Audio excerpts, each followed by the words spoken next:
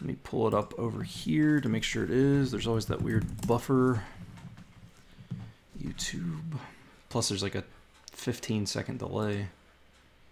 Uh, ba, ba, ba. I just got the notification. Oh, sweet. So we should be all right. So I'm gonna share, uh, you know, do do my normal thing, share this on social media. But while I am doing that, I will let you introduce yourself. This is just for anybody uh, coming back in. This is just your uh, my live um, language podcasts, and I like to welcome any and everybody on. I don't care if I know you or don't know you or have never talked to you or whatever. If you love languages, I love talking to you. So my camera just went blurry. There we go. Uh, but yeah, feel free introduce yourself, plug your channels, plug everything that you do, and uh, we will get into this. Awesome. Uh, so my name is Lane. I am a college student currently studying computer science and web development. Uh, nothing to do with languages or linguistics. Uh, as for language learning goes, I took two years of German in high school, um, and then one semester of intro German um, in college. Uh, and then I've obviously dabbled, like the rest of us have, um, previously with Dutch. I'm currently working on Hindi now. Um, I've studied little things like Russian. Um, I'm kind of I'm a professional language dabbler, as I like to say. That's Um, uh that that hits yep. close to home to me because that's uh so a lot of the comments that I get on my channel are usually somewhat criticizing of that, but There's nothing Uh, wrong with it. nah, man, it, you you enjoy your own things. Uh, Yeah. So you study, so you study, you said two years of German. I did, yep, in- and then one semester in college. Yes. How would you say? Because I know there's always that debate of learning in a classroom versus not learning in a classroom, things like that. How would you say um, your experience with the learning, like in that regards, or did you find the structured learning of the classroom good? Yeah, so um actually when I was in high school, um I signed up for my first year, but I never actually got placed in the class. So to compensate for that, uh, Duolingo was starting to get, you know, to become a big thing around that time. Mhm. So I figured I wanted to try German. Um, obviously, that was my first attempt ever at language learning. I had no idea what I was doing. Right. Um, I just went on, you know, Duolingo. I just clicked the keyboard. I looked at the words. I memorized them all. Uh, had no idea grammatically what was going on at all. Uh, I got placed in German the next year, and by the time that I had spent in that whole previous year on Duolingo, um, I was basically halfway through the German tree at that point, um, giving me a really decent, um, you know, vocabulary um, range. Uh, but I really didn't have any of the grammar there to kind of clean it up. I knew phrases, um, just you know, sentence structures that Duolingo teaches. Right. I had no idea how to conjugate verbs or anything. So the class was really nice with um, kind of cleaning all of that information in my brain up that I already had, just Right. not knowing how to use. Um, so I'd say if you're going in blind, it can be definitely hard. But if you already have a little bit of background there and you just have someone to kind of help you clean it up and you have someone to, you know, let you actually use the language with, and that can definitely really be beneficial. Yeah, that's that's interesting. And um, did you when you took it uh, took it in college? Um, what were the level? Because I'm, I'm assuming you took kind of like a was it like an intro to German It or something like yeah, that? German 101. Cool. And so I'm assuming there was people. How how that's that's interested me about learning via a classroom is the idea that you know if you which you you didn't say that you were advanced when you went in there, but you did have exposure. So how was the class in terms of you had knowledge, but then maybe this other person had literally never even looked at German. Yes. Um. So I took a placement test for my university because you know most universities across the U.S. um require you to take one semester of a foreign language for a gen ed requirement. Um. So the the gen ed requirement is an intro level 100 um you know 101 level class.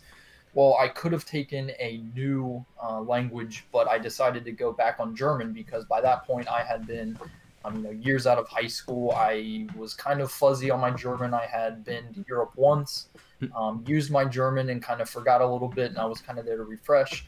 I took the placement exam. I actually tested into German 300, which uh, is a fifth semester class. Whoa. Um, but the way that the credits worked at my university, I ended up just taking a 100 level class. Um, so I did feel um, out of place being in a classroom full of people with no experience at all Mhm. compared to someone who was at that time, I'd say, a very high A2, maybe an extremely low B1 level uh, in German.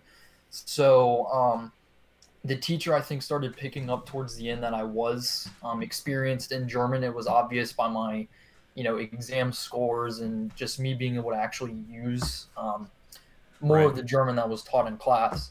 Um, but yeah, I was thinking about it, and I thought a intro level university class for a language would be really difficult for someone going in with no experience in the language. Right. Um, I felt the accelerated pace was kind of almost too much for me, and I was, you know, uh, years of experience in German at that point. So Yeah, and I'm assuming that's probably where a lot of the um, negativity around classroom learning is, is because I mean they are set up where they have to do certain things. Like you know, there is that criteria. So Mhm. um, that's really really interesting. Um, did you become kind of the guy in class that people would?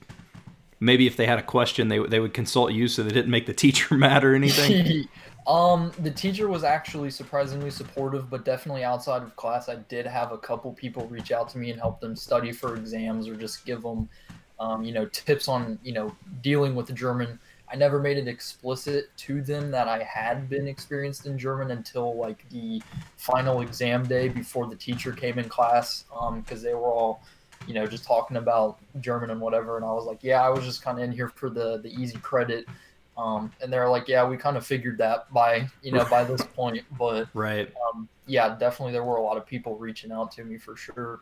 That's cool. Um, what? Uh, I don't. I don't think you said it in the beginning. So when I'm when I'm typing, I'm listening, but then I, I hate to miss. Yeah. And so uh, if I if you did touch on this, I do I do apologize. But um, what was your interest in getting into German? Like, why? Just out of curiosity, where did that come from? Because I know everybody has a different story.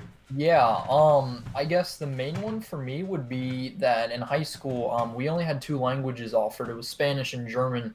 Um, and I personally, I know you're, um, you know, you have a little piece of uh, Spanish because you, you know, you have a little piece of that because you've learned it. Um, I think Spanish is kind of like a, it's it's the typical language that a lot of people go to in the U.S. because of the, you know, the Southern influence and things like that. And we didn't have French, we didn't have Russian like some schools, we didn't have Greek or Latin. Uh, so I figured I wanted to do German. Um, and my friend also talked really highly of the class too. So that was kind of my um, my gateway into the language learning community. Um, eventually, I started getting, you know, I started expanding out. I went to Esperanto after German. I tried Mhm. that out for a little bit. Um, Yeah. yeah. Yeah, I um uh what's funny is I had a com uh I think I was talking to I, I can't keep like it's weird. I, I don't talk to a lot of people and then this last week I've talked to so many people, but um I can't remember if I said it on a podcast or maybe I was speaking with one of my friends privately, but I said in regards to Spanish, I said people say that you cannot learn something that you don't want to learn, and that is absolutely false because Yeah. And, and my my feelings on Spanish now are I really really wish that I would have went like I have a I have a respect for any language now. Yes. Yes. At the time in high school, I definitely had no interest. I felt like it was like a forced thing, um, and stuff like that. And I, I definitely wish I knew what I knew now. But I guess that's hindsight's twenty twenty, and that always happens as you get old, I guess. But yep. um, but like um in terms of spanish i get what you're saying because it, it you do feel you know when you're in america you feel just by default it's like well okay i've, I've got to learn spanish um and i remember talking to uh somebody from canada oh uh well i i interviewed for a job position at LingQ one time and when i was i was, ta- I was talking to uh, Mark and Steve Kaufmann, and I was telling them about Spanish, and I think Mark had even made the joke. He was like, "Well, that's how a lot of people in Canada feel. Like, you have to learn French, like French, French, yeah. you know." Um, but uh, that's cool that you, you chose German. See, in my high school, all we had was Spanish. There was no, Yeah. There wasn't any. So that's that's cool that you. Now, my wife, who is from a, I don't know if I'd call it a smaller area than me, but probably a smaller area than me. We're it's not like we're in a big metropolis. There, there's Yeah. like five thousand people where I live. It's not huge, but um, her school offered uh, German, and then didn't. yeah. did you, I thought your school offered German? She's French and Japanese. Oh well, they offer Japanese. All right, Oh, that's, uh, yeah, that's that's even uh, that's even crazier. yeah. Um, through a satellite. Okay, yeah, and I know. See, Ta- Tazewell, which is the other school in the same county as me, offered Japanese, but where am I? Huh? My. Oh, her college had German. Okay. Okay. Yeah. Sorry. Um, but yeah, at where I went to school, there was. Well, I, you know what? I take that back. Um, I know I'm talking a lot here, but it's just all. It's all. I want to make sure I get the correct information here. My school had Yeah. Latin. My school did have Latin. Oh, I'm okay. sorry, Mine had So Spanish and French, and it wasn't Japanese, maybe Latin or something. hers had Spanish, French. Okay, all right. Oh. So we're, we're there now. So anyway, but Yeah. you do feel. Um, see, uh, hold on. See, um, uh, took Spanish from seventh grade to twelfth grade in Tennessee. Okay. Uh, and then Nick says my high school only had German. That's are you are you where? That's interesting. I would assume. I don't. Uh, if you're from the United States, that would blow my mind if they didn't Absolutely, have Spanish. Yeah, Spanish would be the go-to for most. Yeah. classes. Yeah, for sure. Um, I, I know in America, their Spanish teachers are actually, uh, I think, considered critical needs because there's not enough people to teach. Like you've got people who are Really? literally going through curriculum, but they don't speak Spanish. But it's because they have to have somebody there to teach the class. Interesting. Uh, there's a like a independent school um, district that only has one school. It has a elementary, middle, and high school uh, right down the road from me here, and they uh, just introduced. I had a friend that went there. Um, in their elementary school, probably years or two, maybe two years ago. Um, they just introduced Mandarin Chinese for elementary school students. Oh, Yeah. That's. I mean, it's a good way to start, man. Um, I know that this is gonna sound like the super cliche thing to say, but like my son, who is three, he watches a show on Amazon Prime called Ni Hao Kai Lan. Yep. Yep. It's fr- okay. It's from Nick, whatever it's from, but Yeah. it, it's on Amazon. But I guess somebody else produces or whatever. But he says Chinese words like, um, and it's not like obviously great. He's three. He doesn't speak English yeah, great, Yeah. but he speaks Chinese words. Like it's pretty crazy. Yeah. Oh, It's hold like a Dora kind of. Right. Well, he and he does that with Dora too. He'll say stuff Really? in Dora. Yeah. And then I'll uh, sometimes like, um, you know, I'll, I'll say, "Oh, do you want to learn how to say something in Spanish?" And he'll say, "Yes." And I'll I'll say something, and he'll, you know, obviously Yeah. but, butcher it, Yeah. but it's. yeah. Uh, let's see here. We got a couple comments. Uh, to um, I've got. Okay, so Rose T says high school had Spanish, French, and Latin. Okay, that seems. I, f- I forgot about Latin. I guess a lot of people did teach that. Yeah, kind of a U.S. thing too. Yeah, and I guess I guess the reason is because if you're gonna go into like um, I guess like maybe linguistics Medical- or something medical. or or medical for sure. Um, I, I was gonna say linguistics. Well, I guess linguistics would make sense to an extent because of Yeah. so much being based from the Latin. Yep. For, from Latin. Uh, okay, Nick says, Nick says they're Polish. Okay, so that that would make sense Oh, for the versus German, for the yeah. German thing. Um. Okay, so um, yeah. So okay, so that's how old are you now? How how long have you been Uh, out of so college? I'm 19. I'm about to turn 20 here soon. Okay, so this is still like fresh, like out fresh out of college, studying and stuff like that. Um, now I'm interested in, and you said you're you're currently learning or you're dabbling in Hindi. Yes, yes, I am. What what's the what's the interest there? Uh, to be honest, I've been asked that a lot recently. Um, I can't entirely answer that because I don't really know myself. Um, Sure. I really like the idea of having um, an Indo-European language in India, which is a country in Asia. Uh, Right. The idea of having something similar to, you know, more closely related to German than to, um, for example, you know, Chinese, uh, Mhm. Mandarin, or whatever, um, is fascinating to me, especially because it is spoken in an Asian country. Uh, you can see the divide between where the Asian influences um, from the other, you know, languages in India uh, versus the roots of, um, you know, the Proto-Indo-European uh, that it has. I think that's really interesting. Yeah, that's cool. How's the um? I've never, I've never, I don't think I've ever studied Hindi. Like, I, I mean, I, like when I say dabble, because I've dabbled literally in everything. But when I say dabble, I do mean more than just testing out a Duolingo course and stuff. So I don't even know if I'd say I dabbled in Hindi. Is it subject, object, verb, or is it?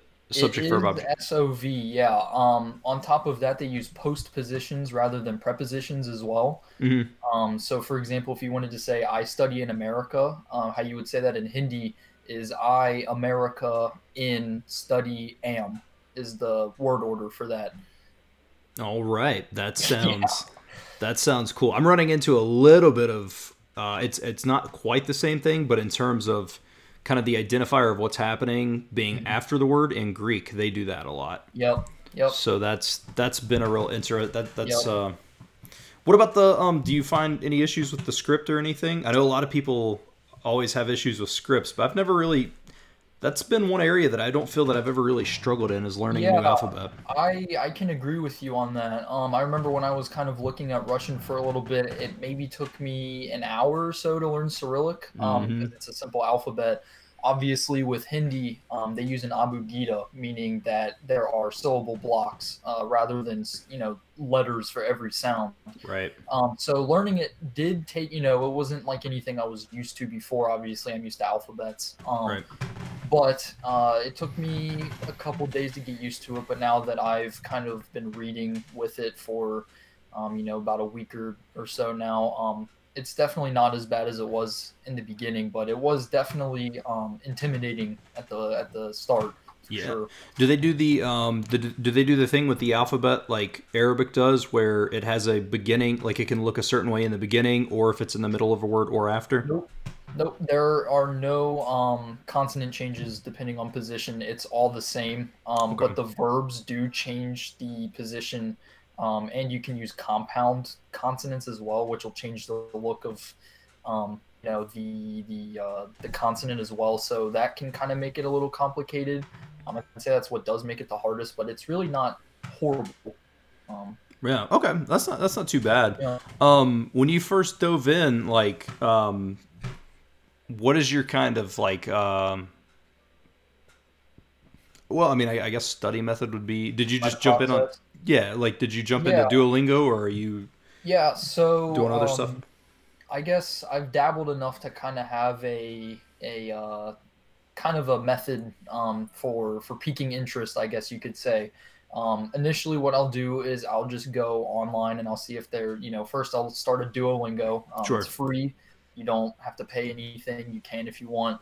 Um, kind of get a little taste for the language, see what it's like. Um, if you're really interested into it, um, personally, I like grammar study a lot, so I'll go out and I'll buy a textbook like Teach Yourself or Routledge's uh, Colloquial. I really like Colloquial Okay. a lot. Yeah. Um, I dabbled on Duolingo for, I tried it previously. Um, I hated the tree, but I did like the language.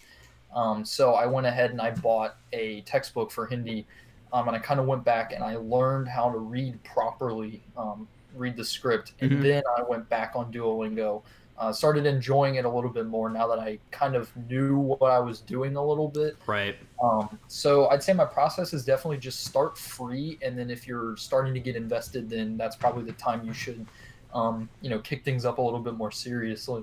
Yeah, for sure. Because I think um, I think the thing that we forget, myself included, uh, I had a big.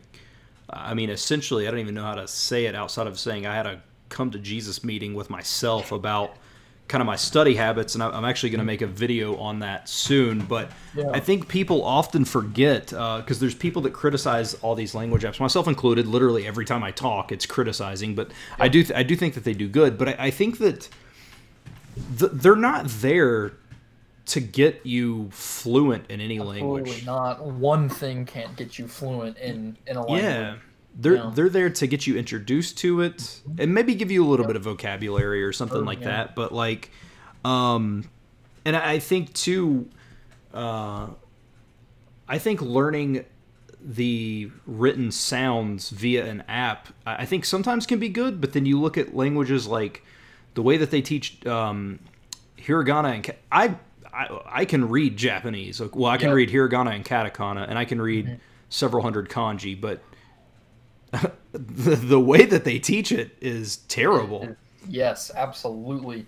Um, the Arabic course. So I'm going to compare the Duolingo Hindi course and then the Arabic course a little bit, kind Mhm. of uh, contrast because they both use you know foreign scripts. Yeah. Uh, the Arabic course I thought uh, on Duolingo at least was excellent at teaching the alphabet. Um, it taught you know a letter at a time, then it'll do another letter, and then what it'll do is it'll combine the two letters to make sounds, and you read practicing, um, you know, certain letters combined in combination. Yep. Uh, the Hindi course, on the other hand, and I think the Japanese does this too with hiragana, um, just kind of has you read individual characters. Um, and you can't learn that way. You gotta, it, it'll start you off with each character, and you'll just do four lessons of just reading that, uh, no words or anything. hmm And then you'll get thrown into basics one, and then all of a sudden you have full sentences using the entire script, and you've never seen a word connected before. Yeah. Um, horrible way of doing it, in my opinion, but No, I agree. That's what hung me up because again, I, I mean, I'm I don't speak Japanese, but I I know enough Japanese to Yeah. where I you know, and I remember when I was doing the course, like you said, you would do that, and then once as soon as you hit basics one, it was more than hiragana. It was hiragana, katakana, and kanji yep. with no no prior introduction at all. yeah. So that's that's really really ah, I don't know. It, it's definitely weird. That's cool. Um, do you uh, when you do you do you take? I know a lot of people do this. I'm I'm trying to get into this myself, and I'm really really bad for it. But um, do you do? Uh, do you take notes and stuff? Do you have like a notebook and you take notes and stuff like that? Yes, yes, I am a major fan of um, note taking in general. I think note taking is a good way, uh, not only just to kind of consolidate information, um, it's a good marker of showing your progress through Mhm. time. Um, sure. if you go through a textbook and you take notes on, for example, just all of the grammar, um, ideally, if you're studying properly, um, that means that whatever you have filled out in your notebook, you have in your brain. Um, if you don't have a notebook, I mean, sure, it doesn't mean that you can't access it um, in memory whatsoever, but um, it could mean that you don't know it as well as if you take the time out of your day to actually sit here, um, write grammar points, make sentences with those points in them, Mhm. um, and then, you know, instead of writing down all the vocab, I'll throw that in a Memrise deck or a Quizlet um, deck or Mhm. something like that. Um, but yeah, I totally, I agree with note taking 100%. That's cool. I actually had a. Uh, I was having a conversation with um, my my buddy Evan, who he teaches uh, English in Japan, and he was talking about his process because I'm trying to like. He, I mean, he's he's a teacher, and he and I was talking to him about my struggles with some stuff, and he was like, "Dude, he was like, it's literally my job. Like, Yeah. let, let me help you out with some study techniques and stuff." And um, and he he speaks uh, Spanish, Portuguese, French, Korean, Japanese. Um, he sent me a video. He did. I mean, he he has literally done speeches in front of Japanese Yeah. audiences and stuff. So he knows what he's doing. But he um he, he said two things today that really struck out to me, and uh, I'll see if this resonates with you or, or you know even your take on it because I, I thought they were very interesting. One, writing down something creates in a weird way an intimate relationship with what you're writing down, and it's it's gonna have that connection because you've created it on paper, so it's gonna help that stick in your mind. Yeah. Um, sorry to cut you off if you were. No, no, go ahead. Yeah, uh, interesting. Uh, kind of with that, my German professor, uh, she was from Germany. She moved over to the U.S. and um, married a uh, an American and lives here now. Um, when I took German last semester, um, she said an interesting quote. It's a proverb in German. I thought it was really interesting. Um, I don't remember what it is in German, of course, but I remember the translation. It was "through the hand to the mind," um, Yeah. is what they said. Uh, I thought that was really interesting. That kind of does, um, you know, connect with what you were saying and what your friend was kind of saying too. Yeah, that's it's a, it, it, he he said that, and that really struck with me. And then the other thing, I this could be used for other languages, but I mean, I, I could see where this would be specifically Japanese. But if you if you do mnemonics at all, he was talking about how like for kanji, uh, I don't know if you are overly familiar with when pe- people Yeah. create the stories and stuff like that. Mhm. Yep. And so he'll write something down, and I was like, "Well, what if you forget it?" And he said, "I make a new story." And I said, "Okay." And he said, "Why would I use the same story? Because it didn't help me remember it the first time. I create a new story." Yep. And I was, it blew my mind. Yep. I thought that that was a very interesting Yes. concept because yeah, you go, definitely. You know, if you study, especially if you, do- you know, when I was doing remembering the kanji, some of that stuff wouldn't stick. And now that I think about it, I'm like, why did I not make a new story? Because it's Yeah. obviously not working. Yeah, it obviously wasn't meaningful enough for you to remember it the first time. Yeah, yeah. Yep. Yeah, Oh, definitely. So here we got uh, learning scripts is always the most fun thing. Sorry, I know these are from a while ago. Learning scripts is always the most fun thing. I agree, dude. I, I could learn Yeah. alphabets, man, and I agree with you. Uh, Russian Cyrillic looked way more. Difficult than it is. Yeah, It's super easy. Yeah. it is. Like their spelling is kind of weird because of where the intonation on the word is. So that Yeah, definitely makes it a little. accent and all that. You know. Yeah, but other than that, man, it's not. I it was honestly one of the more the easier alphabets. Absolutely, yeah. The interesting thing about Cyrillic is that um, they invented it specifically. Um, so obviously, every language that uses Cyrillic uses a separate um, kind of variation of it. Mhm. There are letters there and letters that are new. Um, the interesting thing about Cyrillic for all of those languages, though, is that every letter that they have um, is specific to that language's sound. Mhm. Um, English, you can have things spelled 15 different ways and they'll sound exactly the same. Um, in Russian, though, each letter that they have um, is for a specific sound in the language, Yeah. uh, which is really interesting Yeah. for sure. Yeah. Yeah. Even though the spelling can be weird because of the stress of the word, it's still it's still phonetic. Exactly. Yeah. Yeah. Uh, and actually, it's funny. I'll- I'll bring up one more thing that my buddy had said earlier. You were talking about how the English language and we can spell stuff a different way, and he said uh, he said the only way I can compare kanji to having you understand it in an English sense is that our alphabet does not match our language. yeah. Absolutely. like Yeah. we definitely need a new alphabet. Um, but yeah, I, I I loved Russian, uh, which I learned. Uh, funny enough, even though I'm I'm just now kind of studying Korean, I learned Hangul several years ago, and I thought it Yeah. was, um, that's very intuitive. I don't. Have you ever studied that? Like, have you? I, that is actually one of the alphabets I haven't even looked at. I've heard this from every single person that have studied it. Um, They have all said it is the most. Um, they said it's a the simplest, and b it's the one that makes the most sense in everything that they've ever looked at before. It is, man. It's it's so weird. And like what's weird is, you know, you think about I mean other languages that have, you know, the the symbols, you know, or Yeah, whatever, you know, the the sound representatives instead of Mhm. like an actual letter, but like I don't know, man. Like I picked up it took me so long to learn hi- just hiragana. Mhm. Like I'm talking like a month. And then Hangul you can learn it with no exposure to Korean. You can learn in a day easy. That's insane. Yeah, Yeah. no, I that's the one that I haven't actually tried at all. Um, I did have a very small Japanese phase. I'm talking probably two days. Mm. Um, I tried because I didn't want to go out and buy a textbook or anything. I tried on Duolingo, and honestly, the course put me um, kind of let me down. I didn't like it, so I was like, you know, maybe I'll come back to it, but I'm not going back to Duolingo for that until I can. read. I, I, I can tell you uh, from personal experience of, of trying to learn Japanese over the last 11 years, uh, if you ever want to feel the absolute worst about yourself that you possibly can, study Japanese, man, because it will it will strip away every bit of confidence you have. Like Yeah. it's not even funny. It's like it's it will absolutely destroy everything, I've, man. I've put that on a separate tier on the list. I've been waiting for that one. I haven't built myself up to that one quite yet. Yeah. You know, Here- Here's an interesting uh, thing, um, or maybe not interesting. That was a weird segue. What a stupid segue that was. Here's an inter- uh, but like, um, or just something that caught my interest thinking Yeah. about is: Do you find? Because I know that this is kind of um, uh, people talk about this in the language community, but do you find? Do you use different study methods for different languages? Because uh, uh, you know, not everything is equal.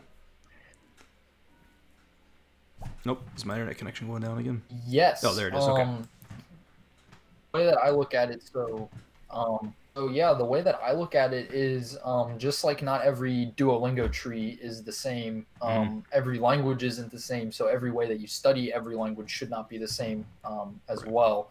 Uh, when I was studying German, um, didn't take nearly as much time studying the pronunciation um, because obviously it's more phonetic than English and it's you know one of the easier ones out there.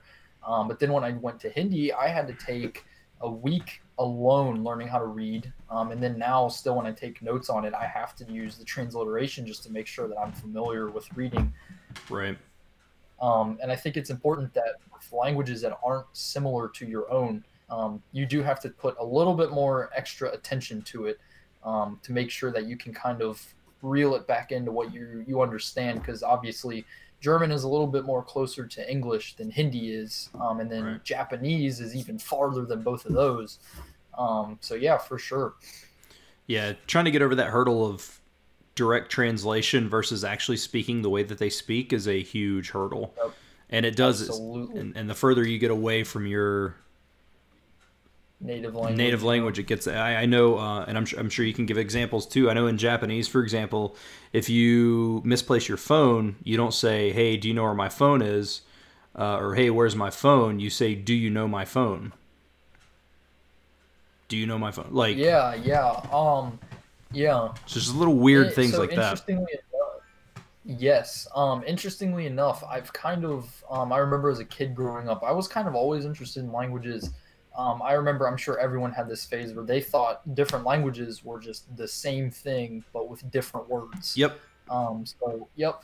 Uh, growing up, I've kind of obviously I've left that mindset. I'm now under the impression that every language has their own way of saying different things. So, for example, like you said, um, rather than asking in Japanese, "Where is my phone?" Um, you say, "Do you know my phone?" I always go into a language assuming that everything that you already know is not translated literally hmm um, which you know can help and can hurt sometimes too because um, I wouldn't want to go to Japan and just assume you know maybe I misplaced my phone and I wouldn't want to ask someone do you know where my phone is uh, they'd look at me like I was stupid like Right. they had no idea what I was talking Right. about um, so I just go in the mindset of assuming nothing at all um, because you never know what languages have to offer they're all different um, so Yeah. yeah how did you get over um sorry man i i, know that i jump all over the place but that's oh just you're the- good you're good that's just the way that my my brain uh Mm-hmm. and like i said if you if you've watched anything on my channel that's yep. Yep. I don't I don't script anything and I just go because I, I feel like that's the most genuine uh, thing. But in terms of uh, German, and you, I know you're talking about grammar, how um how how did you deal with the cases? Like, did, is that something that You had so, trouble- um, kind of like everything grammatically, it's just one of those things you got to get used to. Um, initially, the accusative case is obviously the easiest because you know what the direct object is in a sentence. Um, once you start adding the genitive, um, which is the possessive, kind of gets a little bit weirder because you have to add s's after some nouns and others you don't. Um, and then the dative is definitely the worst one in German, in my opinion, because um, with German, I know I think you dabbled in it a little bit, Mhm. at, at least. I'm pretty sure. Um, I'm sure you know some verbs take um, dative case, some verbs take accusative case, um, and then you have the whole prepositional system in German, which is a whole mess of you know a completely other topic um, where they take, you know, some will take genitive, some will take accusative, and then you got to depend on, or uh, some will take dative, some will take accusative, um, depending on if you're moving or you're you're sitting down somewhere, or if you're. Uh, so yeah, the whole the whole mess. I don't think it was the cases per se. It was the the prepositions and the verbs that forced those cases was totally the worst part about that whole thing. Yeah. I remember um, when I was uh, studying Russian a little bit, I asked my teacher one time about cases, and she said, The only example I can give you to show you how important they are. Because I asked her, I said, If I use the wrong case, will I be understood? And she said, Well, you can be, but I'm going to give you an example of why they're important. I said, Okay. She said, If you're standing in Moscow, and you say mm-hmm. now obviously i'm not going to say the correct word because i don't remember but just as an example she said if you say pizza well the a on the end represents a certain case and people know that means hey i'm selling pizza come buy pizza mm-hmm. But if you Yeah. say pizza that makes it a different case which means where can i buy pizza and i was like Yeah. that sounds terrible like It does, yeah. Um, the thing with Russian that makes the case system completely different than German too. Um, German's easy because you have the word for the. Um, you have the three genders. The only thing that you change in the cases are the genders, and sometimes you'll add like an "in" on the end of a word or Right. whatever. Um, Russian has no articles whatsoever, so the only time that you can tell a word from a one in the different cases, you have to change the ending, um, making one word have six different possibilities um, at times, which is absolutely mind-boggling to me, and I am terrified of getting to that point in Russian at, at some point. Yeah. Yeah, I feel like that's a. I feel like it's an absolute uh, motive. I mean, I you have to be dedicated to learn Russian. Like, there's no doubt about it, man. Because it's and that was the yeah. thing. Like, I was yeah. learning it and I wanted to learn it, but like, I had no, there was no connection outside of just mm-hmm. I like languages. You know what I mean? So yeah, sometimes you think you like something, and all of a sudden you study it, and you're like, maybe I don't really like this yeah. as much as I thought I did. yeah, absolutely. So let's. I want to switch topic because I don't think I've, I've talked to anybody about this before. I was just thinking about this today. Um, mm-hmm. What do how, how do your friends and family react to your love of languages? Yeah, um, it was weird at first because they would, um, they obviously knew I took German in high school, so they were like, "Oh, he's he's learning German. It's just one of those things. It's not like he has a, uh, I call it an addiction to be honest, because oh, it's what it is. Absolutely. Yeah. Um, and then all of a sudden they start seeing packages come in. Um, you know, I have a Spanish book. I have an Italian book. I just bought another German book. All of a sudden, I have an Icelandic book now. Um, I remember the first thing my dad said to me was, "Why don't you stick with one language and um, just learn that, and then go to the next one?" I was like, "I don't think you understand. I gotta, I gotta. These are for later after mm-hmm. I'm done." I mean, I knew in my mind that I was gonna, you know, go this far in one and then skip and go to the next one because right. that's just you know a lot of people have the language bug. That's just how it works. Yep. Um my friends are more supportive for sure. They think it's like they think you have to be a genius to learn languages. Um, you don't have to be. Anyone can do it. Um, it just depends on how you're doing it that really you know defines your success in language learning. Mm-hmm. um, but i'd say my friends were more supportive for sure. My parents i don't think really understand it. Um, but yeah do you do you find um do you find kind of the idea I, I I did make a video on this exact topic, but do, do you find the idea of people saying I don't have the language gene or I'm not a genius, do you find that to be somewhat without them meaning it that way, but do you find that to be uh, a little maybe downplaying how much time and effort you've put into it? And again, I, I don't think that they would mean it in that sense, yeah. but yeah, no, I totally know what you mean. Yeah. Um yeah, I think yeah, some people kind of just assume that people have the, uh, you know, uh, there's another one out there like I don't have the the music um, gene. I can't play an instrument. I have no skill to do that. Right. Um, anyone can do it, and I think it completely undermines the amount of time and energy that goes into even learning. Um, not even a language completely, but just how to build simple sentences. I remember um, when I first looked Hindi, I had no idea what was going on, and it took me, you know, probably 30 minutes just to figure out why I couldn't say, um, you know, why there's a difference between I am eating and I eat, um, mm-hmm. although you still use the verb to be in it, so that doesn't make any sense. But um, I think they completely undermine it, and I'm sure some people, you know, the same people that say I don't have the language bug. Um, probably are the same people, and I'm generalizing here, obviously, sure. that um, you know, kind of believe the whole language should be learned because it's useful, not because you want to do it. Yeah. Um, which is, I, I, have a big, I have a big opinion on that as well. Um, which I'm sure you yeah. you also do yourself. Yeah. Yeah. Well, well, my my thought is like, for example, uh, which I don't go to work anymore because I'm working from home right now, but. Uh, but when I would go to work, you know, and it was never in a negative sense, but people would be like, you know, play this game, play this game, and I'm like, I like, I know that you don't understand what I'm saying, but I don't have time to play games because my games, my what you get out of playing games is what I get out of doing Yep, Duolingo. Duolingo, exactly. Yep. And so it's it's a weird thing. I, tr- I try to explain that to them, and I'll make mention of it all the time. And they're like, "Play this game," and I'm like, ah, and they're like, "Oh, the language thing," and I'm like, "But that's that is my that is my video games." Yeah, yeah exactly.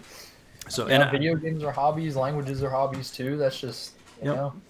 And then yeah, I mean, I've had not necessarily had people ask, but you know that there's always that question of why. But it's like, I mean, I don't ask why you dumped 99 hours into Final Fantasy. Yeah, exactly. Like, yeah. you know you enjoy it. Kudos to you. Yeah, I I yeah. also enjoy it. I just if I had to choose where my time was going, languages are going to take the first, Absolutely, yeah. Which is a struggle a struggle right now because of Animal Crossing being out, and I love some Animal Yes. Crossing. Yes, absolutely. Um, I think you made a video on your channel about this. Correct me if I'm wrong. Um, about the whole learning a language because it's useful versus because you want to. Mhm. Um, how do you feel about that? Yeah, well, um, I don't know what I said in that video, but uh, I'm going to tell you how, how I feel right now. And that is, um, I think that, you know, if a language is useful, but it's not something you want to learn, then it's useless. Yes. Um, yeah. For example, in America, Spanish is useful. Mhm. If you hate Spanish, it is useless. Absolutely. um, and it's a waste of your time to try to learn it. Um, and it kind of goes into the same thing of what's the, you, you- people always Google this. What's the easiest language to learn? The one that you want to. The one you want to learn, yeah. Yep. Because if you want to learn it, you're gonna have the motivation to stick with it. Um, for example, you can you can tell people all day long Esperanto is the easiest thing to learn, but once they get into it and they're like, wait, I can't go to a country, I can't do this, I can't, you know, it's Yeah. yeah. it's kind of just like which I stuck with it. I loved Esperanto personally, and I really Yeah. want to rekindle my Esperanto, but that's a whole different thing. But uh, oh, perfect. Oh, that's a good segue into Fingtam. I've mentioned Aaron on every single video so far that I've done this live podcast. Yes. But uh, he he had sent me a message about doing. Uh, he wanted to do a live thing like this where we just spoke Esperanto, that and awesome, yeah. and I said, uh, I said, man, that would be such a struggle. And he said, that's kind of the point. Like, just see where we're at and just go. yeah. So, Aaron, I don't, I don't think he's watching, but there we go, man. That's, I'm think I'm four for four now in mentioning Aaron. And I, Yeah. at some point, I'm gonna, I'm gonna, I'm gonna bring it around. I mentioned Lindy every time too, so we'll get there. I'll get, I'll get Lindy in too. But, um, who are just out of curiosity, who are um like who are the people that you watch and like I, I haven't I don't think I've really asked anybody that in the past, but just out of curiosity, who Yeah. like what polyglots um motivate you? Like who who do you find and, and who do you find to be genuine in that in that Uh-huh. regard? Polyglot progress, polyglot progress. Oh my gosh, Mm-hmm. uh, was definitely the first one that I kind of um, bumped into. I don't know if you're familiar with Mm-hmm. um, Matt and Abigail? yeah, Matt and Abigail. Mhm. Awesome people. Um, unfortunately, never got to talk to them, and I know they're both taking breaks from the channel right now. Unfortunately, Mhm. um, that's easily my favorite um, channel out there. I still go back and I'll watch. Um, if I ever want to study, I think the easiest way for me to study is if I have, you know, some video on in the background about languages, just Mhm. something to get me in the in the mindset. Um, Yeah. Obviously, I watch your channel. Um, I've been in your live streams before. I've Mhm. seen Fing Tang, Mhm. Fing Tam. Oh my gosh, I can't speak today. Yeah, no, I, Uh, like his videos, his live streams were awesome. yeah, I love um, Aaron, man. He's a good dude. His 11 hour challenges of Italian and Thai, that was ridiculous. I feel sorry for the guy for that. Um, yeah, he did one for uh, German too. He did, yeah, I Mhm. remember that for sure. Um, I never really had a thing for. I, I did. I do watch Lindy's videos, but Mhm. I never really. Um, I'm not a regular viewer per Sure. se, just because I guess her um, her advice and her content kind of appeals to a different audience than what I'm looking for. Mhm. Um, she focuses more on, um, you know, obviously Korean, Japanese, Mandarin. Um, Right. She she does you know a lot of Asian languages and her content kind of, um, and obviously she speaks Afrikaans too. Um, her content kind of goes towards that um, side of the you know the language learning community who really focus on those specifically. I Mhm. like a completely different group. Um, and I think that's why I really liked Polyglot Progress was Mhm. because they kind of shared that similar um, interest with just kind of out of the out of the blue languages, things you don't really study a whole lot. Like Matt did a one week Swahili um, video I still watch. I think that's phenomenal. Mhm. Uh, just the idea of sitting down and studying something for a certain amount of time, um, just kind of you know out there a little bit, I think is phenomenal. Um, Mhm. And then your study streams are absolutely awesome because it's a good motivator for a lot of people out there. I'm sure. Right. Um, yeah. Yeah, I, I agree with you on, on polyglot progress because uh, I think Abigail, one of her strongest languages is Bulgarian, right? Yes. Yeah. Which is so did for Act random. One. Absolutely. Yeah. She actually was the one who piqued my interest. Um, it's on the list.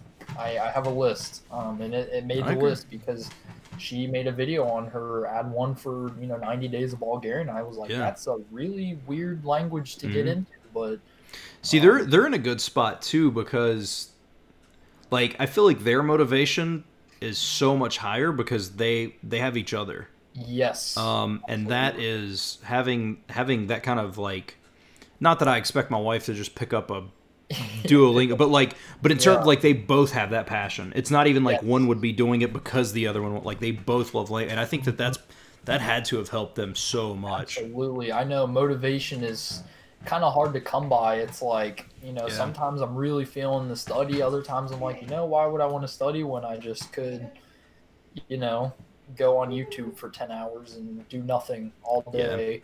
Um, easily having someone that shares that passion totally makes, you know, learning a lot more fun. hmm Um, and it adds meaning to it as well. You kind of have an external motivator out there for you. Yeah. Um, also someone to hold you accountable too. It's really nice. Yeah, no, I agree with that, man.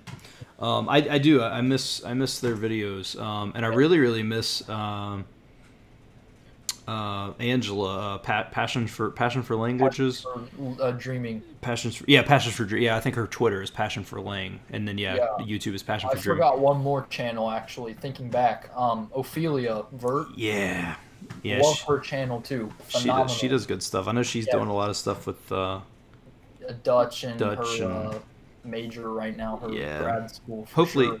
Hopefully she can and you know the the beautiful thing about all this is uh, and I actually uh, here we go lindy here we go. Uh, i actually touched on this in my uh, interview i believe i touched on this in my interview with lindy that i had um, what I, she i think she's getting it up on her channel in the next week or so but um, people like the people that you've mentioned i think are appealing because youtube is not their job. They're doing it because they love it. Mhm. um, for sure. I don't I don't strap my yeah I don't I don't strap my boots on and sit on my computer at nine o'clock at night because I'm getting paid for it. Like I love languages, um, and and I want to share that journey with people and whatever. And I I think that that's why all those people are and you know they go through ups and downs. You know I mean I've taken Yeah, breaks on this sure. channel. Ophelia's doing all the stuff with colleges. She's got some stuff going on, and I know Angela's got some stuff going on. And I mean, you know, it's just it's they're real people, and I, I think that that's what makes the connection so much stronger to a lot of people. Yes, that's why I couldn't really relate to um, Moses Laoshu fifty five thousand. Mm-hmm. um, just because he sits down i think you know I, he hasn't made a whole bunch of like study method videos in a while probably five years or so Mm-hmm. Um, he would sit down from morning to night and just study all day long and i just don't think that's realistic for you know 90% of the community who Right. just i don't know about you but if you know I, after an hour of studying something i'm like pretty burnt out for the day i can't do it for hours after that Yeah, he, Um, he is one one thing I will say about him um, that I normally go against this. I think he does. There's something special about him. Yeah. Because because of the ability to, dude he's been doing that since he was 18 studying for 12 14 hours a day. I could not imagine Yeah. myself doing his that. his schedule now is he has he'll take four classes a day an hour a piece, and then also he will then practice some of his other languages 30 minutes or an hour here or there. I mean it's all day. He does not stop. And That is something special because the fact that you can continue to do that is insane like that's a special thing And I'm sure it has something to do with his um so I'm I'm sure you're you know you're probably aware he doesn't intend on getting Mhm. C1, C2 in every language. I think what is it upwards of I think he's looked at probably what 20 30 languages by now at this point. oh yeah he i mean Oh. it's it's and, and it's random stuff too urdu Random. like Heard, yeah, absolutely. Yeah, um, Amharic was the one that I saw Mm. on there. That's a that's a really weird language. Mhm. Um, I think what makes it easy for him to be able to do that for 12 hours a day is a he has languages to practice uh, and people to practice with he's in an area in ohio that's just abundant of so many different people and he'll Well, he- go places just to Well- speak with them And he's in a he's in a better spot now because he just moved to Phoenix, yeah exactly So he's in a Um, so it's even plenty- more people. people. Um, and then on top of that, he is still in the kind of the beginner love phase of these languages where it's not hard to you know get up and study a language because you're still it's still new and it's still Mhm. interesting and you know I, I know for sure that studying the beginning phases of dutch when i was dabbling in that after german a little bit um, it was it was new it was exciting because it was like what can i pick from german and can, you know compare these um, Yeah. versus hitting the intermediate phase in german it's just kind of hard to keep that motivation i'm sure that's got to do something with his you know Yeah, ridiculous study habits yeah. Well, and, and, and the other thing I like is that he.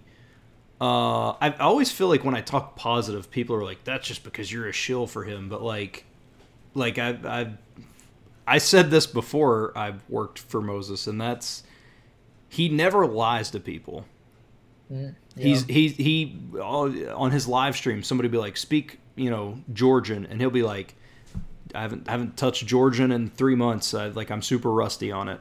Like, Mm-hmm. and I, I think that that's good instead of just being like, "Eh, maybe Instead later." trying to make up yeah or Yeah. keep on pushing it So- down yeah for sure But but then also acknowledging that he's not trying to be a C one level in everything, Yep. I think is also i- is also important.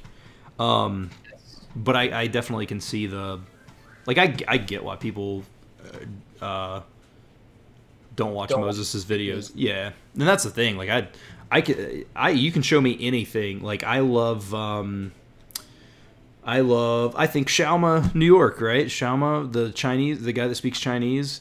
yeah um, I love- I think I know who you're I think I know who you're talking about yeah Yeah, I, I love watching his content, but I can also watch that and be like, all right, I get why people don't like it. Um, same thing with Steve, Steve Kaufmann. He makes videos of him talking in front of a camera, no editing, just No editing, spouting yeah. stuff. boring yeah But I love that stuff. But I can videos totally are see. extremely informative for sure Well, he's the amount of knowledge that guy has is insane. Like, um, also got a, a lifetime of wisdom behind him so Yeah, and I love people. People all even uh, what's weird is people leave either comments or like uh, he doesn't do live streams a lot now, but like they'll do it. And they did a live stream earlier today. They and it was him and Mark, his son, and then like a couple of people that use LingQ, and they were like uh, in the comment sections. It was like, "Oh man, you know, is getting too old. Can I learn languages?" Steve's seventy.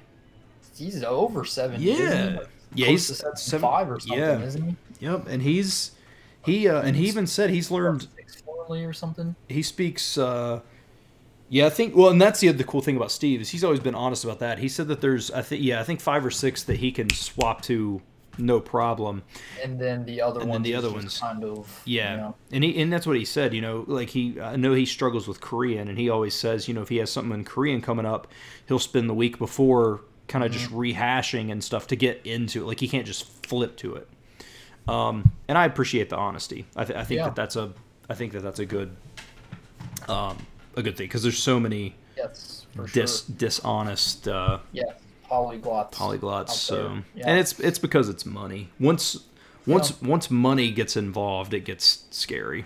yeah so- for sure Um, so what else? What uh, you, you were talking about your list of languages. What so like what do you think the next couple of years? I mean, I know that that's hard to. If you ask me what I'm going to be studying next month, I wouldn't have an answer for you. So so honestly at this rate if you told me next week i probably i'd still probably say hindi maybe no um next couple of years um so yeah i kind of i a lot of people are kind of for this a lot of people aren't um i have a list like i mentioned previously Mhm. um i don't even act i don't tell myself i don't try and pretend that i'm going to be c1 in all of these languages Right. um i'm content with being b1 in every language as long as i can have a genuine conversation Mhm. with natives that is all that matters to me yeah, um, I do for sure see in the next couple of years, maybe even um, yeah, for sure Hindi. Um, I want to get my German back up um, to where it was. Uh, I was really happy with my level at that point. I kind of stopped too early and it kind of just fell off the cliff.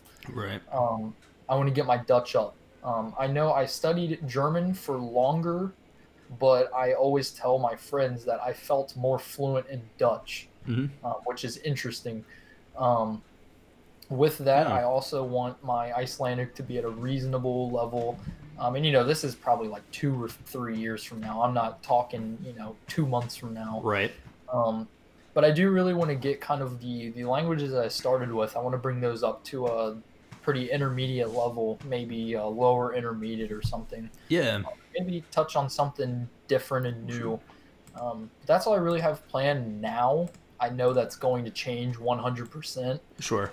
Um, yeah. No, I, I, I can agree with you there. I, I mean, it, it changes all the time. I'm actually, uh, I've noticed, and I don't know where it's come from, and I'm completely okay with it. I've noticed a surge of people wanting to at least dabble in Icelandic. Oh yeah, it's a amazing language. Um, I don't know. There obviously interest um, changes person by person. Mhm. Uh, for me, I think the interesting thing is is that it is a um, Germanic language, obviously, but it's a language that hasn't changed in, or it hasn't changed drastically, I should say, in you know hundreds of years. Mhm. Um, and it's on an island. It's spoken by probably what three hundred thousand native people Right. um, on a very well-off country. Um, gorgeous landscapes. I haven't been personally. I've been to the airport. That's about Oh, as far Lord. as I've gotten. Dude, if you see Oh. pictures of Iceland, it's Yes, gorgeous. gorgeous. Yes, um, I've heard the people are outstanding. Um, the they're super friendly, um, and honestly, it's just one of those languages that I don't want to be fluent in, but I want to be able to just, if I ever, when I inevitably go to Iceland, I want to be able to use um, the language, and I think the difficulty of it is kind of intriguing as well. Um, Yeah. for me at least, I'm a big gra- uh, grammar like nerd. That's my Right. favorite thing about a language. Um, but yeah, for sure. Yes, I was going to ask about the difficulty because it seems like I remember people saying that Icelandic, it, it's not like Finnish, but like that it's strangely difficult. Yeah, I think what the the stigma on that is that it is a so it's a Germanic language. It is a um, it's it's a Northern Germanic. I'm pretty sure, um, like Scandinavian language, um, but it's extremely closely related to Old Norse. In fact, they're Hmm. mutually intelligible. You can't like if you were to read a book in Old Norse, um, but you only spoke Icelandic, you would understand like what was going on. Whoa.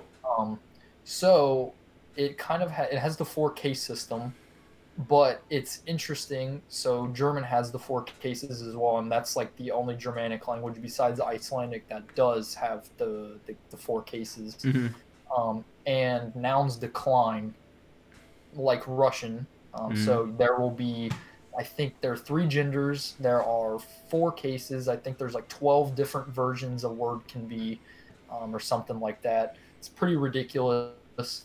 Um, and then on top of that, the word for the is a suffix on the word, uh, making it a little bit more different than Right. average, you know. So it's German or it's kind of it is kind of like like Norwegian, like flicken, flicken, Yes. flick. Okay. Yep. Mhm, That makes exactly. that makes sense. Let's see. Nick says, "I think many people got interested in Icelandic because many vloggers and travelers started to go to Yes. Iceland." Yeah, I would say that because like there wasn't really a lot of exposure on it, and then because it's one of It's those areas. recent- yeah, Yeah. it's pretty new in terms of like um, global interest, I guess you could say. Japan was there for a really long time. That's why there's the whole Japan, uh, Japanese, you know, thing going around. And then it was hmm K-pop, um, and then Korean was a big thing, and you know, Iceland's getting up on the list, and other countries are too, which is really great for the the language learning community for sure. Yeah, I I was. Uh, who was I talking to? I was talking to somebody one time about um, like Japanese. I feel like is like my generation's like go to like people because I'm I'm 32, Yes. so like it's like my generation's thing, and then I feel like the generation below me was like for whatever reason there was just a weird split, and it was just Korean. Like Korean exploded with interest. with my generation, um, I guess there's probably a, there's a generation in between yours and mine. That's the Korean. Mm-hmm. Um, I don't entirely know what the because you know you still see the the Japanese and the the Korean still kind of worked its way down the line and it's still really popular in my generation Yeah. because K-pop is still thriving. Oh yeah. Um, yeah, K-drama and just Korean culture in general. Um, so I honestly don't think that that's really changed yet. Um, and there aren't, you know, really any new and upcoming, you know, languages, I guess, Yeah. um, that are kind of really hitting the market right now. So yeah, Um, I, th- I think the main attraction to them for people, like in terms, like again, Icelandic is coming up, but like yes, in terms of Japanese and Korean, um, they are like it's it's it's gonna sound stupid, but like I think you're gonna know what I'm saying.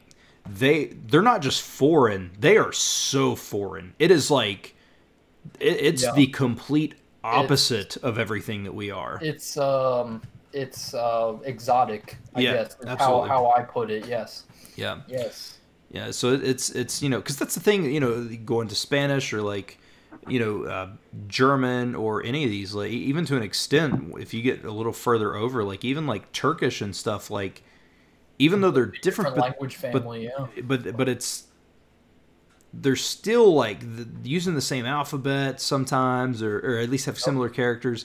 And then man, you hit you hit Korea, J- Japan, well, yeah. and and again their their media helps a lot too because i mean you got like i mean uh you know you got people from like cambodia but like you know i don't, I Yeah. don't- you know but it's uh and i guess thai thai does a lot too like Thai is getting kind of But- up there too on the list. yeah but um yeah man like it's and that's what interested me in in japanese and korean is the you know in, in J- japanese specifically you know the the movies um i'm a huge movie buff or well i used to be but like Yeah. I got so tired of American film because everything is a remake or everything is adapted from a, a Japanese film, and I was like, why don't I just watch a Japanese film? Watch the actual. You know, So that's kind of where that went, and then of course Korean. My favorite movie of all time is Korean, yes. Old Old Boy. So, what about do you? Um, we'll talk about another couple things. I don't know what your time frame is here, but we Oh, can t- talk I'm about. free whenever. Okay. Uh, we'll, we'll talk about another topic or two, and then I, I can wrap it up um, i- if you need to or whatever. But in terms of like uh, media, right? Like with the whole like um, like the MIA thing, right? The the Yes. mass immersion. Yeah. Um, AJAT, you know. yeah. What do you think about, and not even just for Japanese, but for any language? Like, do you Yeah. do you find the importance of immerse? Maybe not even hundred percent of the time, but just do you find the importance in immersing in the language that you're trying to learn? Yeah, so um I've always kind of been intrigued by that because um you know the whole full immersion thing kind of started with you know Matt in Japan um his level of Japanese is is astonishing uh Mhm. Steve Kaufmann himself said that you sound like, you know, if I were to close my eyes, I would think that you were, you know, some teen Japanese walking the street in Japan. I'd have no idea. Yep. Um, and it kind of raises the question of how important um, immersion really is to language learning.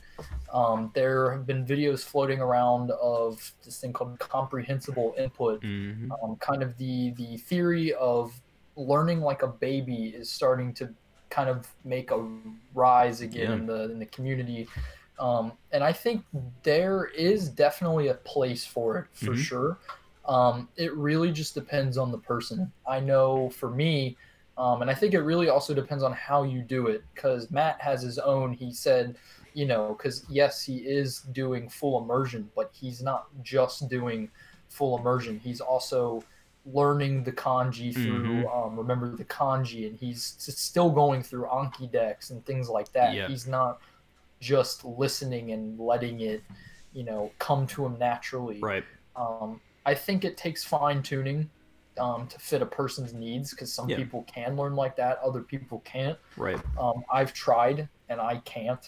Um, I need to know at least a little bit of what's going on so that I can kind of get the bigger picture. Sure. Uh, I can't go in blind and just kind of guess.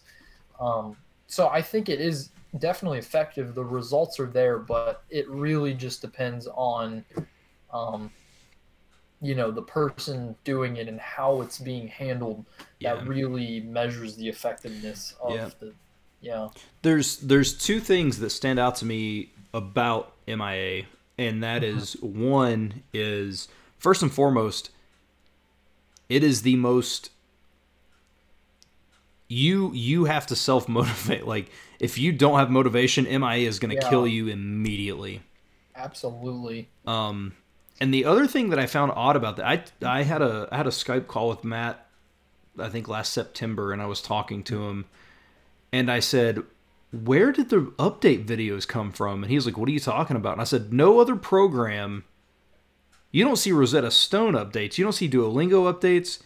But if you- yeah. but if you go to YouTube right now and search MIA update, there's Update probably one that was posted today yes. and people my one month my six months my year my three month my 18 Yes. month i was like when did that and he was like i i have no idea i don't and i was like it's amazing that you've started Done this- that. this- yeah, absolutely.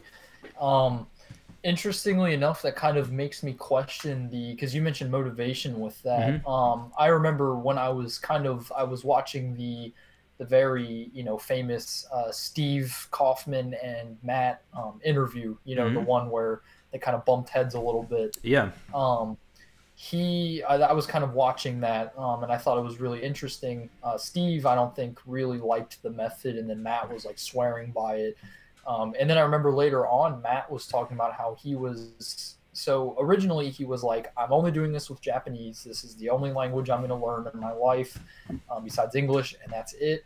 And then he made this video and he said i'm going to adapt the ajat method to the uh, to chinese, i'm gonna learn mandarin. Yeah. Um, I haven't seen a video about that since, and I'm starting to wonder maybe um, maybe the method was fine tuned for Japanese specifically, and that's why a lot of people don't really get success using the full immersion in Mhm. other languages because it just hasn't been done before. yeah Um, yeah he'll he'll, he'll occasionally make like uh he does um uh patreon q and a's Oh yeah. and um, he'll mention occasionally that he does that but i honestly think that i mean mia is his job like Yes. Uh, and I know that him and Yoga are constantly working on this, developing this. How can this tool Mm-hmm. Work better? And I honestly think that he's at a point. I, I don't know. I, I don't know Matt personally or anything. I, I've spoken to him a time or two, but that's it. Mm-hmm. Yeah. But I think that he uh, he I, I am a f- randomly a friend with him on Facebook. He had, he added me on Facebook, and I thought that was like the coolest experience of my life. Yeah. At the time, I was like, heck yes. I, I have talked to him a couple of times, but like I don't know him personally enough to be like, yes, he's totally doing this, but like mm-hmm. I honestly think that they're spending so much time on because that's the thing you can't regardless of how people feel about Matt and what he's doing. I know people are like, oh, it's a cult or blah blah, but dude, they're Results are there. the yeah. well, the results are there, and they're constantly putting material out. They're always updating that website. They're always releasing Anki add-ons. Like they're not just sitting there. Yeah, yeah, for sure. So, and I'm wondering if there's so much of his time is spent in that that he just because the idea of MIA is you never do anything else. But he's, I, I guarantee you, he's eight to ten hours a day and working on that. time commitment. I that is, and you know, like like I mentioned before, is I just don't know how well that adapts to, you know, with a method that's been evolving constantly and Mhm. updating constantly. Um, the further it updates, you know, it kind of splits the divide between here's other languages and how you can use full immersion, and then here's here's MIA right here with with the method of Japanese, and it kind of you know widens the gap and it starts to become more difficult with how do I really use this method and you know for example how do I do this with Hindi I have Right. no idea Right. because his method talks about memorizing kanji well Hindi doesn't have kanji right. um, I have no idea how I would even begin to do that in Hindi um, and I think that's really the main you know kind of difficulty with doing yeah. um, with, with immersion in my opinion I know that um, Luke Truman, the guy that the the last guy that Yeah. did the interview, uh, he because actually I, that, I think I told him in that interview I wasn't 100 percent sure where I found his channel, but I know it could have been when he did the interview with Matt because he did instead of all Japanese all the time. He you know Matt would do the interview with AJatters. He was ACatters.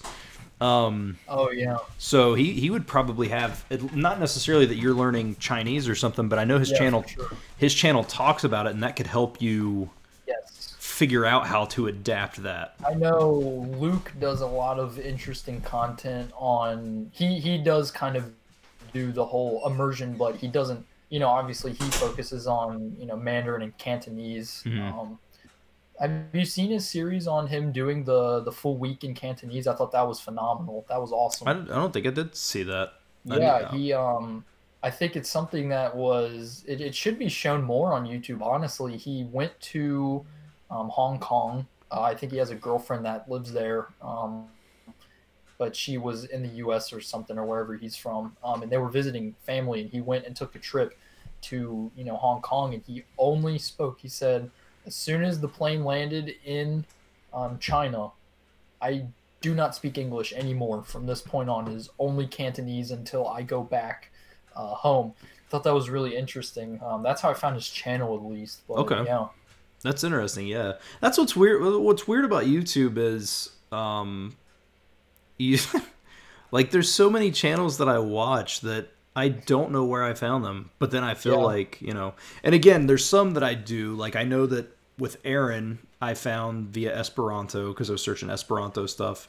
I know that Dakota from Language Learning Yes, Lounge or yeah, Dakota I- Abroad, he. yeah. I found his stuff through an Esperanto video, but then yeah, guys like like I wonder where I stumbled across Matt outside of searching best ways to learn Japanese or something. But like I never I never would have searched mass immersion approach because I didn't know what it was. Yeah, Mine would have been the Steve Kaufmann interview because I remember that was kind of a big like, oh, Steve Kaufmann kind of went head to head with Matt in Japan, and I was like, who is Right. Matt in Japan? And I kind of checked it out. It was interesting. Yeah, that's that's what th- that's cool. I think a, a lot of ways I find the channels. Um, I'm I'm a big resource guy. I love Mm. language resources. That's like that's my passion over you know it's language learning. Then it's like resources and, and you know Yeah. notes and everything that falls under the study method. hmm Um, I looked up bookshelf. You know language learning bookshelf tours. Yeah. I think those are phenomenal. Uh, I was about to film one for my channel. You know earlier today. I'll probably do it later this week. Um, but I think doing things like that is awesome. Um, and that's how I find a majority of the language channels that I look at. Yeah, yeah, those are those are always good. I get sometimes I uh I had found a channel not too too long ago called uh uh Tokini Andy, who does he does Japanese stuff, and he had he had like he was at like 300 subscribers, and I was like, this is blasphemy. This dude is making amazing content, Yeah. Yeah and uh he's he's getting ready to pass 2,000. Like it just sure. It just happened, and I was like, well, all right. Yeah, but- well, there you go. Yeah. Yeah, but uh, it, it's just it's funny, man, that how just certain things. Well, Moses, dude, I I started watching Moses' channel in 2009, and uh, I'm so you're talking twenty thousand ish subscribers. Uh, I started doing stuff for. I started working for him when he had 30 30,000. Uh, I would edit. Okay. I would edit his videos um, at the time and stuff like that. And then we would go a little bit without talking, and then we'd talk again, and then a little bit without talking. It's th- that whole thing that you do with people anyway. And then I remember um, he's he sent me a message. He was like, "Oh man," uh, he he sent me a picture of a, a newspaper clipping, and he was like, "I was featured on a on a I think on a magazine or something in Poland," and I was Really? like, "What?" And so he went from like thirty thousand to eighty thousand subscribers in like a day, and then like. And then just it just randomly happens. Like I know, like late last year he was at like 130,000. Now he's at 954. Like it just, Yeah. and he's been doing it since 07. So you just you Yes. gotta you gotta keep you gotta keep content for sure changed a lot too because back in you know his early years he wasn't really making the level up videos a whole lot he was doing videos on how he studies how and get from beginner to intermediate in Yeah. Russian here's how you here here are all of my resources. His language dojo, I think, is what he calls it. Yeah. Um, tours of the dojo. You know, here are my 40 colloquial courses and my 600 teach yourself courses and Got all them assy You know, mills. Yeah. Yeah. all of his lessons that he made, things like that. Yeah. Yeah. Yeah, I can remember watching videos of him walking around his apartment and he would have the paper and he'd be like, This is my schedule and like he was talking and I was like, Yeah. dude, that's And crazy. Note cards with all the dialogues from all of his books, like you know his Assimil books. Yeah. Yeah. He's he's dropped some money on it. So here here's a here's a question um, for you, and that is I I went once you sent me your information, you, you sent me a message on Twitter, Yep. and you were like, hey, I do you know blah blah blah. So you you run a YouTube channel, Lang, Yes. Lang Depot, right? Oh yeah. Um, are you gonna start? d- d- Do you have plans of wanting to make uh, regular videos or, or anything like that? yes. Yes. Um. Obviously, now that everyone has more free time on their Sure. hands, um, I started the channel kind of as a you know I've always been into languages, but I never really wanted to make a. Uh, I never wanted to be a channel where I kind of sit in front of a camera and give um, advice without being qualified to, I guess you Right. could say. Um, so I just never made a channel because I never really had the whole. Um, I just never really had the qualifications for it. Um, I do fully intend on becoming more, um, you know, because we kind of take breaks from hobbies. You know, I'll Oh, flip yeah. from, I'll flip from computer programming to languages, and I'll go back and forth. And it just so happens I'm in my language thing right now. I'm really feeling it. Um, and yeah, I'll be posting regular videos. And the whole point of the channel was that I think a lot of beginner, um, I'm on I'm on r slash language learning on Reddit. I think Mhm. it's uh, it's a it's a it's an interesting place. Um, and you know, a lot of people are like, "What can I use to learn this language?" And I comment sometimes because, like I mentioned, I'm a big resource guy. I, I love collecting language courses and books and things like that.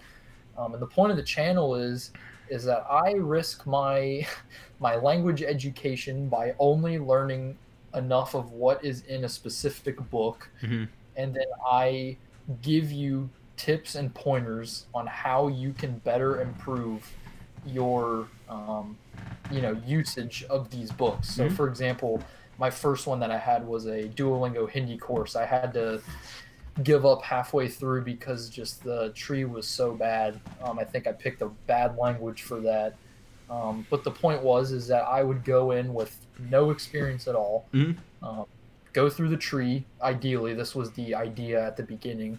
Um, go through the tree and then basically give you a progress. You know, like uh, this is what I can say, uh, if anything at all, and here's what you can do to boost your, um, you know, to boost your ability to use the language using only uh, this thing. Because a lot of people out there, you know, learn languages because they're going somewhere. Um, Right. I want to go, you know. Uh, I want to go to Iceland. I'm going to learn Icelandic, but I don't, you know, I don't know where to start. I don't learn languages. Um, the whole idea was is I have a book, and this is a popular book. You might be able to buy it for thirty dollars. Um, and if this is the only thing that you use, this is what it's going to bring you up to, and this is how you can, you know, effectively study with just this one thing. Um, obviously, I wouldn't advise studying with one resource if you're serious about a language. I'm sure you wouldn't either. Right. Um, it's just not a smart thing. Um, but yeah, that was kind of the whole methodology behind the whole channel. Um, I had to take a break because of school and everything, but now Sure. that I'm home all the time, um, you know, I'll, I'll have more time. So yeah, for sure. Yeah. Um, Yeah. plan on posting more. Do and that's the thing, man. That and that's where uh, when I started the my language channel, I thought because I wanted to do it for a long time because I do love languages, but I was like, who am I to give advice? And that's why I've adapted my channel to more so of the The journey. the journey. Yep. So, um, because I definitely am not, you know, well, I don't know, man. I, I feel like I feel like I can tell people what to do based on what I've done in terms of telling them not to do something. You know what I mean? exactly. like um Yeah. but yeah no I, I know what you mean because like i definitely think about that from time to time and i'm like i do i mean i have a ton of people you know watching my channel not i mean not a, t- a ton for me Yeah, Um, yeah, absolutely. Yeah. And so, but I don't think that they're necessarily looking for advice as much as just, all right, let's see where he's at, what's going on. And honestly, I feel like, I feel like as long as you bring a genuine personality, um, I think that that can do a lot. Because, like I said, dude, like, and I know people criticize the dabbling and stuff, but dude, on my channel, one thing that is for certain, you are going to get me, regardless of regardless of if I start learning Vietnamese le- next week or whatever. Like it's 100% just me. So, um, and I think if you bring a genuine nature to it, I, I think it'd be cool. And if you go through a journey, man, I mean, I, I think it would be cool. I love watching that stuff myself, and that's you know part of the reason of doing this podcast. And I mentioned in the post that I made, I was like, I don't care if you. I don't care if you don't have a YouTube channel. If you love languages, like I just like to hear people's stories, how they talk, their journeys. Because I mean, you can learn something from everybody. yeah, for sure. So, well, dude, uh, you have any um closing segments for the Um, videos and I stuff? mean, the only thing I guess if you if you do you know need help finding resources or if you're looking for any reviews on resources or s- suggestions or anything, um, my channel is Lang Depot. Uh, it's L A N G D E P O T. Um, that's really all I have for you. Thanks for having me. Cool. Yeah, dude, I appreciate I appreciate you coming on. Uh, I I never know what to expect in some of the interviews where I don't, you know, Mm-hmm. know somebody, but uh, languages can bring people together, and that that's Yes. that's truly, honestly, the beauty of it. Because even if you get into video games and stuff, you might have people come, you know, fighting each other over it, but that, that's the beauty of languages, man. We can all come together. So. Whole point yeah, for sure. All right. Well, I'm going to end this stream. That was a super super good call, and I, I'm not hesitant on having people on again. Uh, any, anybody who's been on, uh, we can we can chat as well. Um, Sure. I just like talking to people, so and I know Yeah, I know people watch.